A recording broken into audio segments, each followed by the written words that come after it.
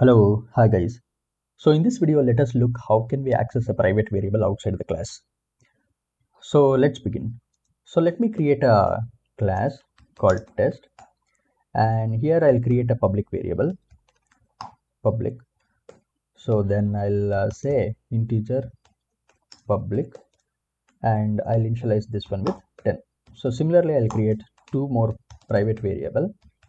Let's say private 20 and im enters private 2 private 2 and let me initialize with this 30 so semicolon.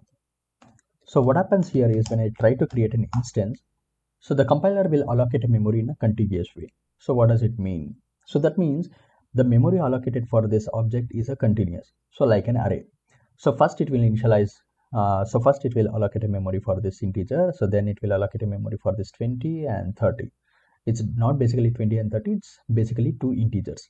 So when i try to print a size of this object so let me print a size of this object size of t backslash n and let's try to compile this one g++ main.cpp a dot out. Can you see here? It is 12 the size of the object is 12 so that means the total size of this object, the size of this object is the total size of the number of variables which is present in this class. So here integer is 4 byte, this is 4 byte and this is 4 bytes and overall it is printing 12 bytes. So what if I do divided by size of integer.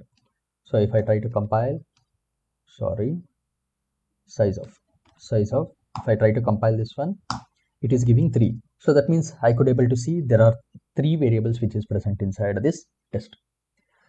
So by taking this advantages of contiguous uh, memory allocation, so what I'll do is I'll create a pointer, integer pointer. Let's call it as iterator. So then I'll typecast my address of this object t into integer pointer. So then what I'll do is for int i is equal to i is equal to 0 i is less than size of uh, t divided by size of int then i plus plus. So then i'll try to print the values. Iter is equal to iter of i is equal to then i'll dereference this iterator so then backslash n. So then i'll what i'll do is i'll increment this iterator to go to this next location. So then i will compile this one and see the output.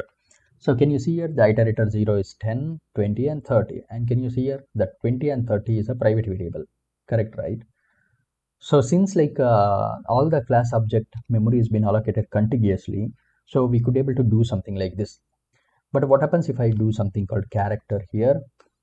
Char or somewhere here uh, string or something like this so then we could able to do all this pointer hangama and we could able to access this private variable.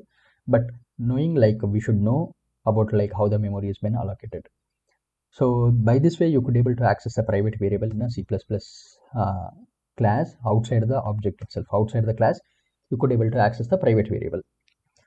So hope you like this video. So if you like this video please share and subscribe. Thank you